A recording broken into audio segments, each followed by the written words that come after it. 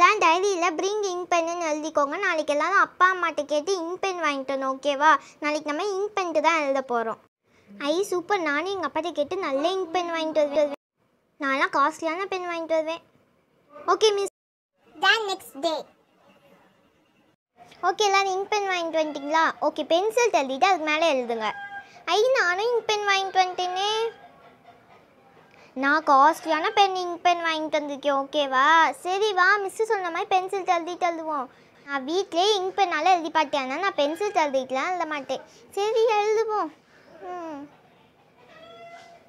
அச்சோ கையெல்லாம் இங்க் ஆயிடுச்சு. இப்போ மிஸ்ஸு பார்த்தாங்கன்னா செம்ம திட்டு திட்டுவாங்க. போச்சு கீத்து என்ன பண்ணி வச்சுருக்க? கை ஃபுல்லாக இங்க் ஆக்கி வச்சிருக்க. நாளைக்கு பேரண்ட்ஸை கூட்டிகிட்டு வந்தோம். பேரண்ட்ஸா ஓகே மிஸ்